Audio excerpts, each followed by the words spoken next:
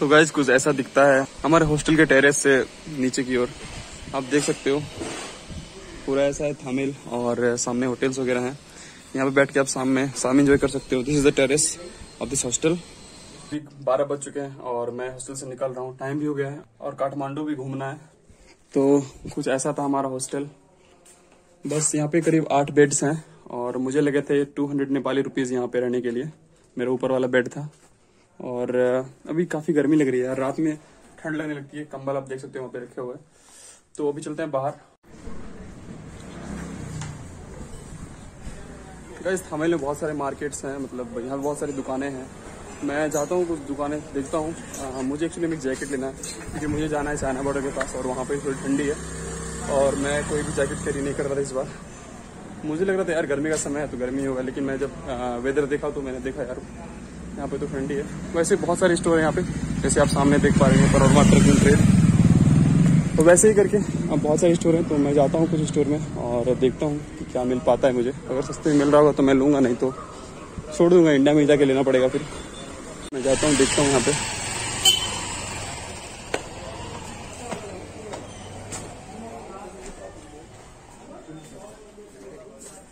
How much for this five thousand too costly man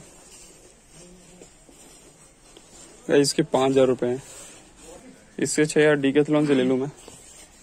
तो यहाँ पे पूरा ट्रैकिंग का जितना भी सामान वगैरह होता है स्लीपिंग बैग से लेकर के एवरीथिंग बैग वैग सब कुछ, सब मिलता है और ग्लासेस वगैरह भी है।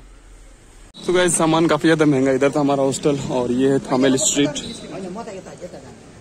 यहाँ पे काफ़ी सारी दुकानें ट्रैकिंग के सामान के लिए, लेकिन काफ़ी ज़्यादा महँगी है। अगर आप आते हैं इंडिया से तो इंडिया से ही लेके आइए और यहाँ पे जगह जगह आपको ये दुकानें मिल जाएँगी मनी एक्सचेंज करने के लिए। और जो रियल रेट है, उससे थोड़ा सा कम मिलता है, एक दो रुपए के आसपास, नेपाली रुपए के आसपास। तो ठीक ठाक रेट मिल जाते हैं, कमीशन वगैरह भी नहीं लेते ज़्यादा। तो अगर आप यूएसडी वगैरह से आते हैं तो यूएसडी वगैरह लाते हैं तो यहाँ पे चेंज करवा सकते हैं। थामे में बहुत सारे स्टोर मिल जाएँगे। कुछ सामने है, एक A to Z money exchange private limited. तो ऐसे ही काफ़ी सारे स्टोर्स हैं। तो गाइस फाइनली हम लोग पहुँच चुके हैं दरबार स्क्वायर यहाँ से आप देख सकते हो। दिख रहा होगा आपको। और ये दरबार स्क्वायर का स्ट्रीट जहाँ पे से छोटी छोटी दुकानें वो मिल जाएँगी।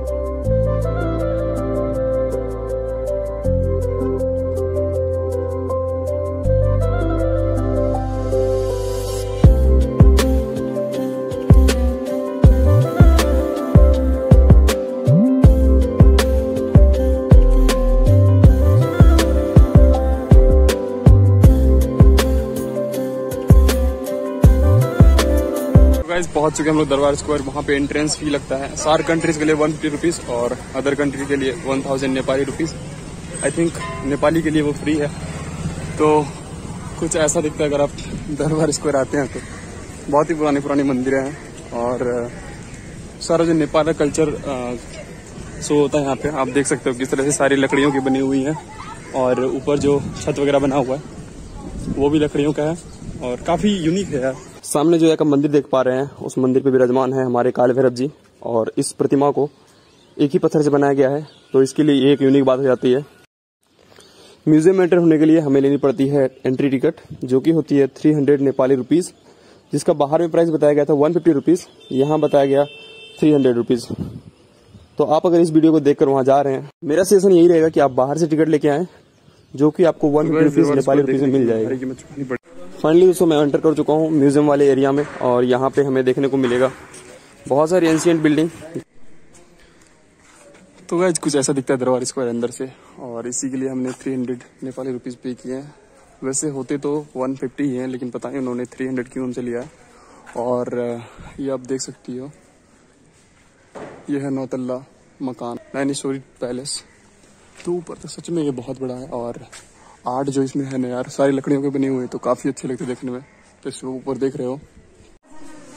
सो so ये सब जो सामने आप छोटे छोटे पत्थर देख रहे हो, ये एक्चुअली में है terracotta arch of Shiva temple तो वहीं की कुछ टुकड़ियाँ हैं और ये देखो, सब सब शिवा टेंपल के ही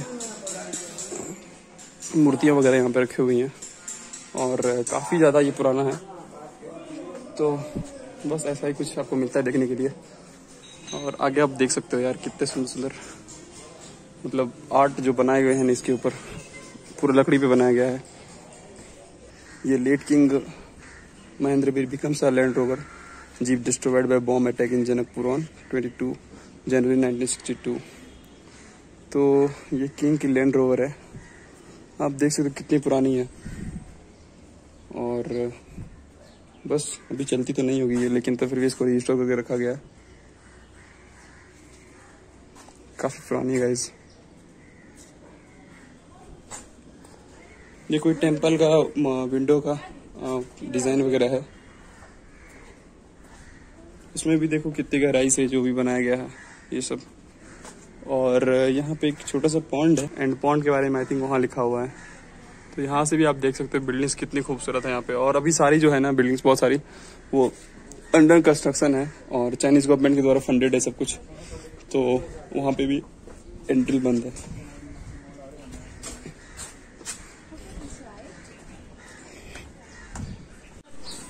तो गैस ये था गैलरी और यहाँ पे अंदर फोटोग्राफी वगैरह अलाउड नहीं थी।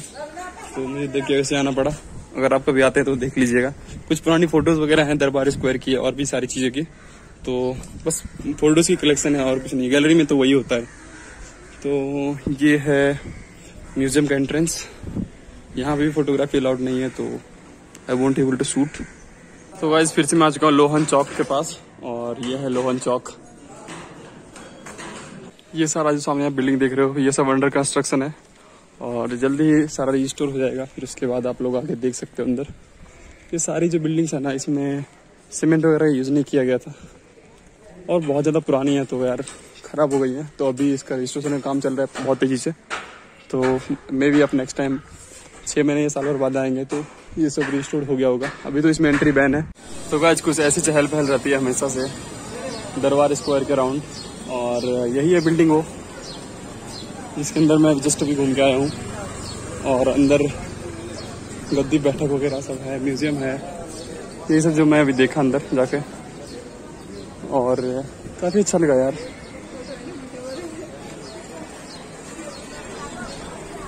ये ये पूरा दरबार स्क्वायर। अभी भी रिनोवेशन का काम चल रहा है।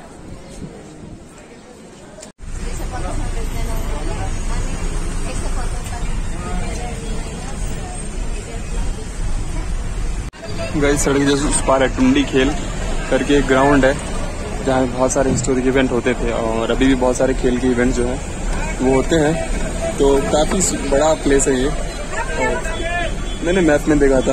तो अभी जस्ट मैंने गूगल मैप में देखा जा रहा था तो सोचा मैं आपको दिखा दूँ। कुछ टिपिकल मार्केट उस तरफ़ लगा हुआ है और अभी हम बस में सफ़र कर रहे हैं। पशुपतिनाथ के लिए। तो गाइज़ ये है मित्र पार बस स्टॉप और यहीं पे बस वाली भाई ने मुझे छोड़ा है। करीब तीस रुपए मुझसे लिए। दरबार स्क्वायर के आगे से एक बस स्टॉप था वहाँ से यहाँ आने के लिए। तो गैस ये है मेन गेट अंदर जाने के लिए पशुपतिनाथ। और उधर से आई थिंक पैदल वाला रास्ता है तो मैं पैदल वाले रास्ते से जाऊँगा। तो गैस ये है रास्ता अंदर जाने के लिए पशुपतिनाथ मंदिर। और यहाँ पे लॉकर्स वगैरह की सुविधा भी अवेलेबल है। वो भी फ्री में। तो मैं पहले यहाँ सामान रखता हूँ एंड देन अंदर जाऊँगा। तो गैस जूते रखने के बाद ये टोकन मिला है। और ऐसा कुछ रास्ता है यहाँ से यार। ऊपर आई थिंक एक पार्क है, जहाँ पे बहुत सारे लोग जा रहे हैं। एंड आप देख सकते हो पूरा पूरा पूजा का माहौल यहाँ बना हुआ है। तो गाइज़ हमारे सामने है श्री पशुपतिनाथ मंदिर और ये है पूरा कंपाउंड यहाँ का। एक एंट्रेंस गेट यहाँ से भी है।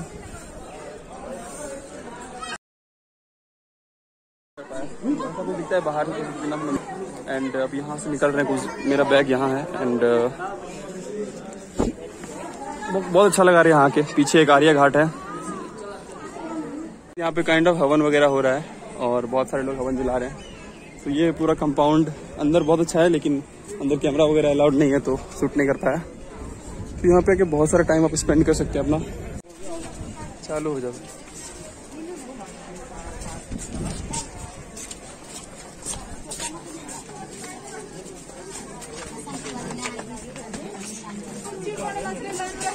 कहीं जस्ट मैं ऊपर ही जा रहा हूँ अभी देखने के लिए जंगल की तरफ़ थोड़ा सा।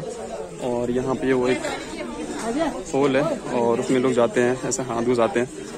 बोलते हैं ऐसे भाग गए जमाते हैं जाके अंदर। वो बता रहे थे अभी। जस्ट तो अभी मैं ऊपर ही जा रहा हूँ। और काफ़ी ज़्यादा सीढ़ियाँ यार।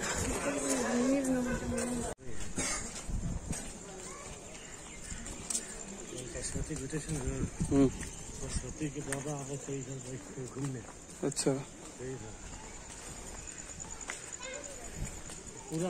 ये वाला जो रास्ता है, ये आता है एग्जिट की ओर तो यहाँ पे आप एग्जिट देख सकते हैं। तो इधर से अभी हम बाहर जा रहे हैं और उसके बाद जो भी होता है, ये प्लान करते हैं कुछ आज शाम का। यहाँ रुकना है या फिर यहाँ से निकलना है।